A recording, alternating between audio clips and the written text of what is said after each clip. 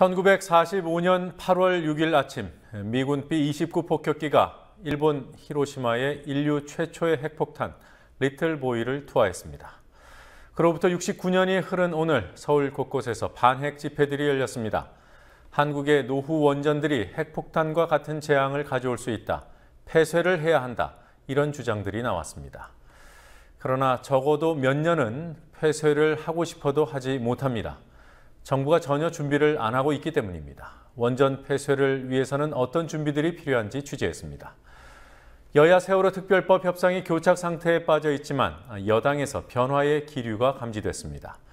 여당 협상 실무자가 당내 인사들을 향해 야당 입장을 오해하지 말자고 하고 여당 원내대표도 협상의 여지를 남겼습니다. 국정조사 청문회는 야당이, 특별법은 여당이 물러서는 방식의 협상이 조심스럽게 관측됩니다. 새누리당 이완구 원내대표가 요즘 무척 고통스럽다고 말합니다. 속이 숙검댕이라고도 했습니다.